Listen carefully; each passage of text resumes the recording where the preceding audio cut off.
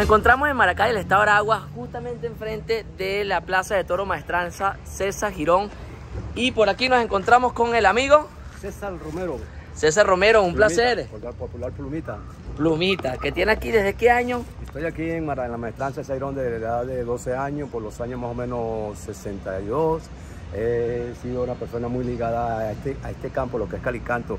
En esta parte principal de la puerta, la parte principal, hemos he visto pasar a muchas figuras del toreo, como la dinastía Girón, Pepe Cáceres, eh, Manolo Martínez, Diego Silvestre, infinidad de toreros. Y para mí es un honor tener esta buena entrevista que me da este amigo, al cual viene a conocer los pasos de esta maestranza. Me llena de satisfacción de poder contemplar esta gente con esa afición que tienen de venir a nuestro corso calicantino, una plaza de tanta historia. Y también le pido a los cuerpos gubernamentales que por favor pongan un granito de arena hacia nuestra maestranza, hasta este ícono que bastante historia tiene. Y tenemos este corso calicantino, este ícono de tantos años, hecho por Juan Vicente Gómez y sus hijos, que fue inaugurada en 1933, tiene ya sus años.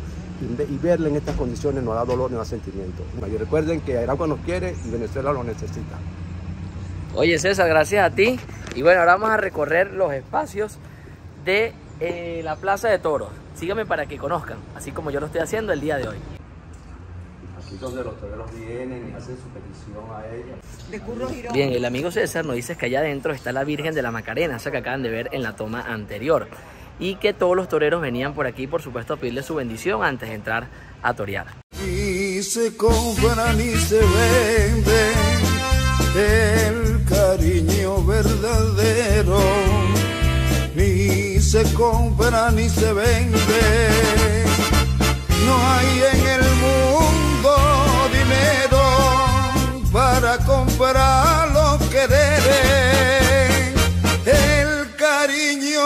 y el cariño verdadero ni se compra ni se vende. Que el cariño verdadero y el cariño verdadero ni se compra ni se vende. ¿Qué sitio tan monumental era este? No me imagino sus años o su época de gloria, donde todo esto estaba full de personas y no cabía una sola alma más eh, viendo estos espectáculos que aquí se presentaban. Por supuesto, las épocas y los tiempos han cambiado. Hoy en día hay el tema de protección animal, hoy en día está el tema de las prohibiciones del maltrato animal y eh, este tipo de actividades fueron prohibidas, pero en un pasado era una de las actividades que más llamaban la atención a todo lo que era el pueblo. Aquí tú veías a todas las personas, desde los más bajos recursos hasta las personas de más alto eh, target o poder adquisitivo eh, eh, común del ciudadano, estaban aquí. O sea, incluso fíjense, hay espacios populares, hay las gradas intermedias y están las áreas, digamos, VIP, que eran estas más cerca de lo que es el centro de la Plaza de Toros.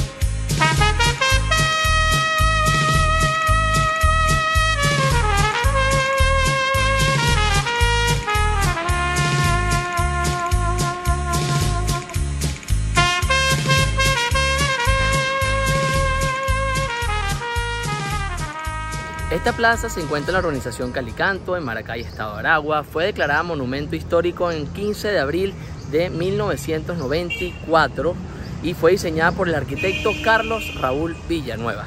Cuéntanos un poquito qué apreciamos aquí. Aquí lo que apreciamos en este eh, aquí tienes la enfermería.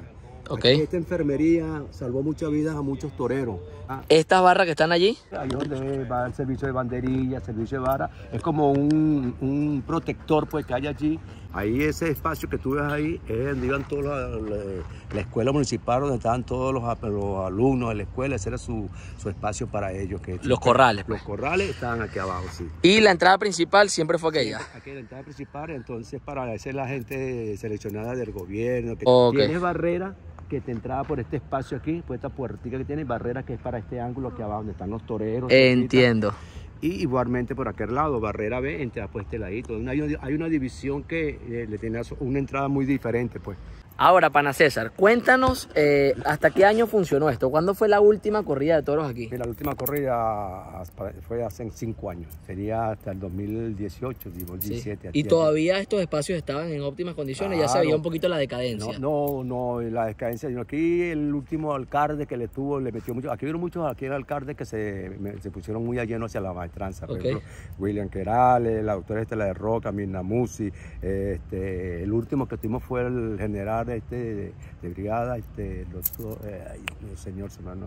Bueno, fue el último que le puso mucho y se esmeró mucho por esta plaza y la dejó en buenas condiciones. De ahí para acá, la maestranza se fue descuidando, se fue descuidando, deteriorando, se entraron mucha gente mala, se pidió protección policial, muchas cosas, pero en verdad no le dieron el punto que quería. Y tú como doliente de este espacio, ¿te gustaría que en un futuro se recuperara, así no sea como para la parte Taurina. Taurina, sino se recuperara, por ejemplo, para el tema de eventos? Pues cómo no, sí, vale, aquí hicieron muchas cosas, circo, aquí hubo pues, payaso, aquí hubo música llanera, aquí hubo conciertos, aquí vinieron cantidades de artistas a hacer conciertos que pisaron esta arena y hoy en día son famosos a nivel mundial.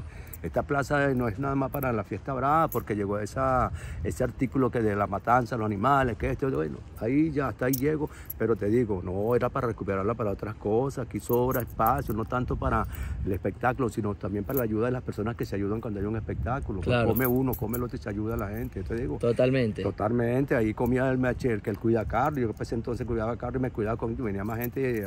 Claro, está el que vende los dulces, los, dulces, eh, los refrescos. el que vende la cotufa, todo, el que vende ¿verdad? pincho, el que vende la parrilla, oye, eso genera eso y hay aquella alegría. Era empleo, trabajo, alegría, claro, lugar de esparcimiento. Bueno, no, esperemos que realmente las personas que tengan jurisdicción sobre esto puedan recuperar en algún momento esto, lo- eh, esta plaza que fue un gran ícono, no solo a nivel regional, sino a nivel nacional. Porque eh, yo, que soy de la isla de Margarita, siempre escuché sobre eso. Me parece mentira que hoy esté aquí conociendo este enorme y hermoso espacio. Eh, te quiero agradecer, César, por tu tiempo, por tus palabras, por explicarnos un poquito sobre la Plaza de Toros y esperamos que a este glorioso sitio le vengan años mejores. Bueno, vale, ante todo, nuevamente la gracia. Yo te digo, hermano, yo sí tengo la fe y la esperanza, tengo mi edad, pero sí algo me dice que sí la voy a ver, voy a ver clarines y timbales y voy a ver la gente rodeada y mira, se me espeluca un poco el cuerpo de la emoción y te me da tristeza también, porque no era para llegar a esto, era para llegar a esto, esto. Hay gente que le puede meter la mano a esto porque, concha, tiene una nueva generación y uno no sabe qué puede proyectar. La hoy estado, mañana no sabemos. Así es. Pero me da mucha tristeza, hermano, ver mi maestranza en estas condiciones. Como vuelvo y lo repito, timbal y viva la fiesta brava. Gracias. La capacidad que te dije, que no te di, la capacidad de la plaza es de sí, 8.673 personas. acá. 8.673 Sí, por ahí- personas. Sí, por ahí más o menos estoy, sí. Ok. No, tiene un gran aforo. Ese es el aforo, sí que tiene. Sí, tiene un gran aforo.